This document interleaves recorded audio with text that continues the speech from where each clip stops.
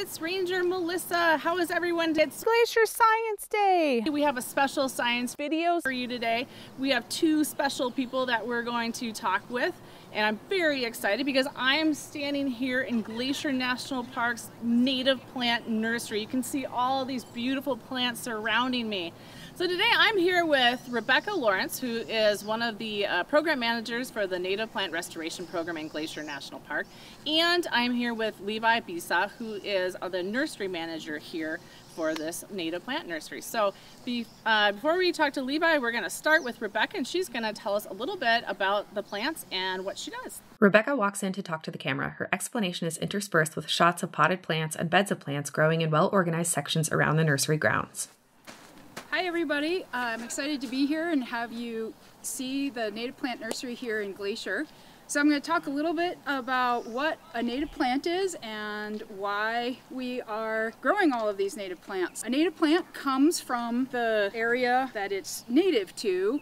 All of these plants that you see behind me come from Glacier National Park. Uh, we go out and we collect the seed in Glacier and grow it here in the park. So the reason we do this is as part of the National Park's mission, we need to uh, conserve our natural resources.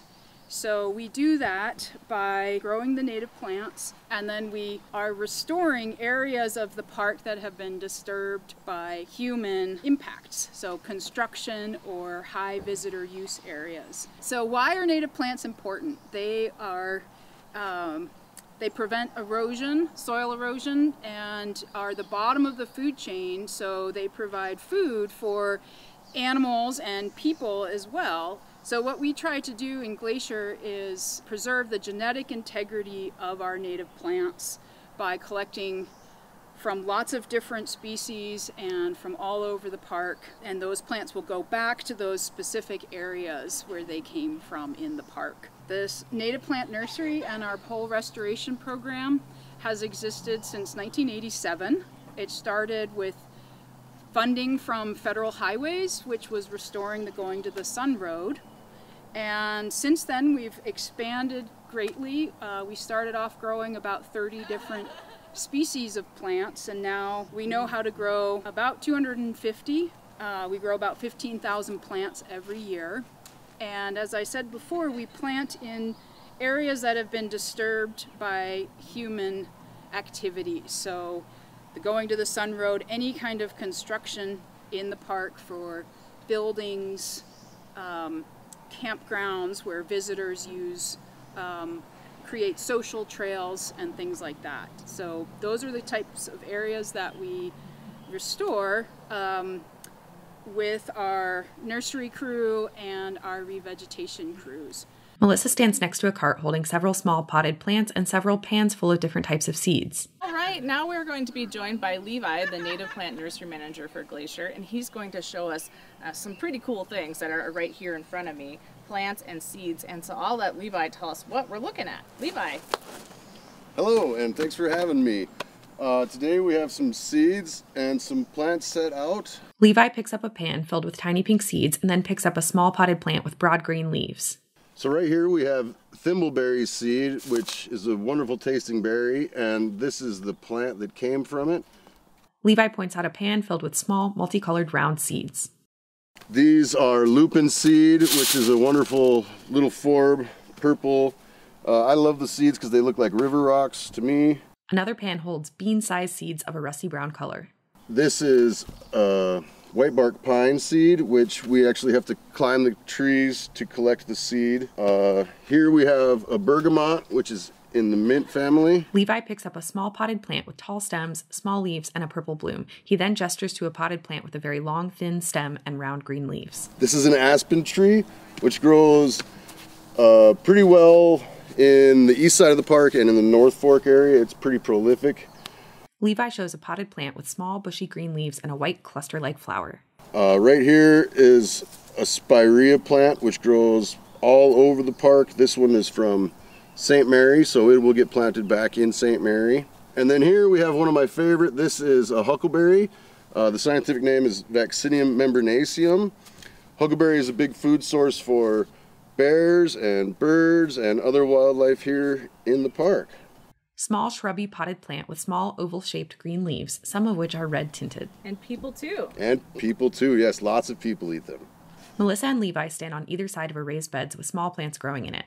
So Levi, you showed us these um, thimbleberry seeds, and you said that a lot of the plants that you grow, you uh, collect the seed and then you plant, you pot them, and then you grow the plants. But I'm looking at this, and I'm just kind of curious: is were these from seed, or how did these get here? So actually, these are our cuttings beds, and so approximately 70% of our plants are grown from seed, and then the other 30% are grown from vegetative propagation.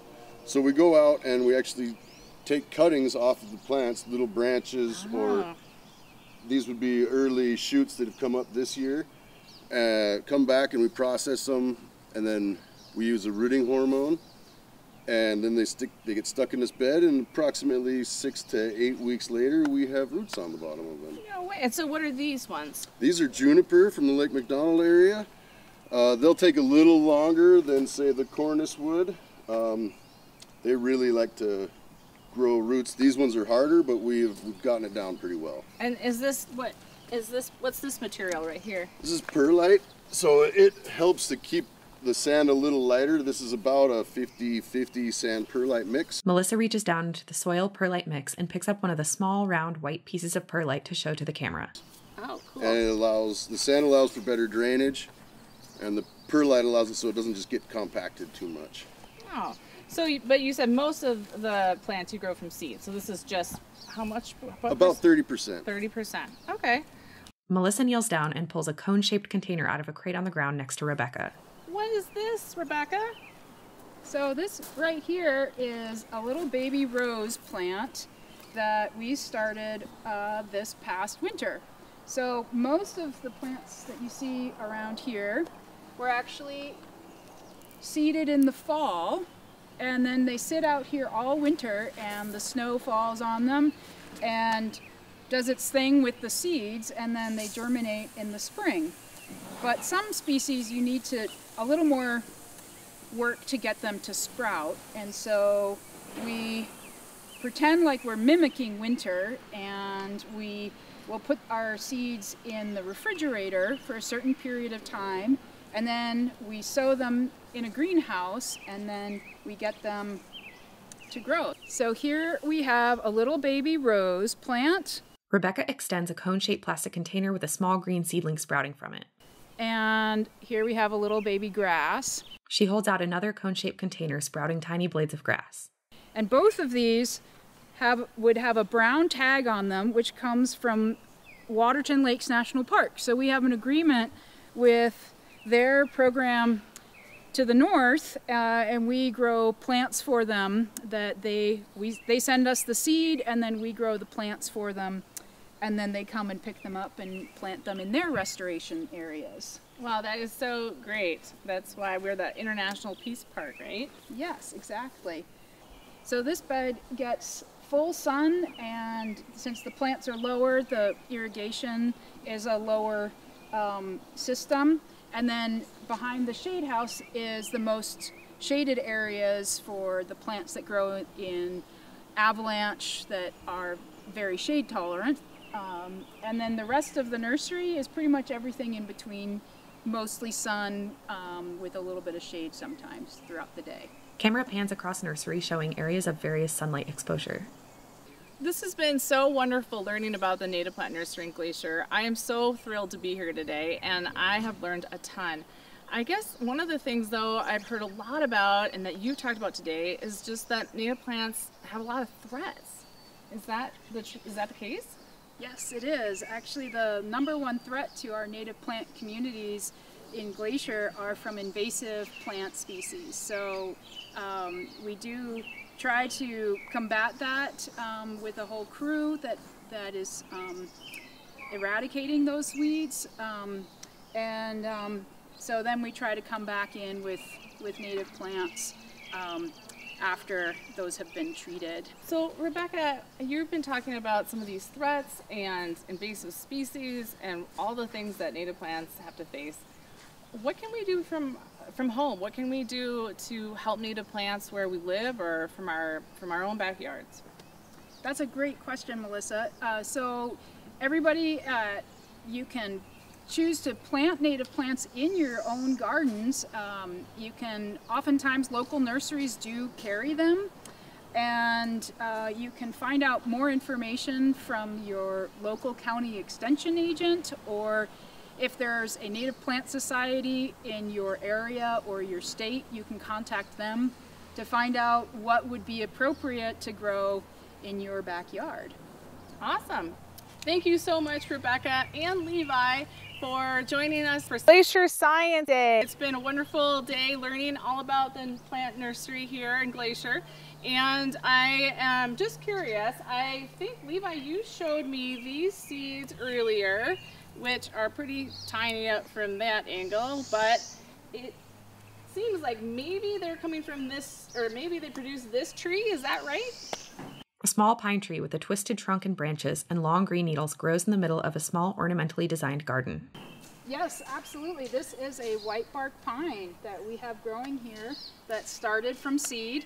And uh, this is our demonstration garden. Uh, these grow up at um, tree line, so you would see these plants growing at Logan Pass on the Continental Divide. Um, and yeah, these white barks are really special trees. They're also under threat from a non-native invasive fungus. So that's why we're working to restore them as well.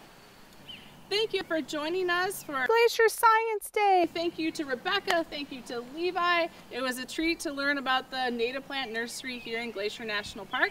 And stay tuned because we'll be having uh, more science videos this summer and fall with some of our researchers and managers in the park and we'll hear more about what they do and learn a whole bunch. So thanks again. Have a wonderful Friday. Happy Glacier Science Day. Thank you. Thank you.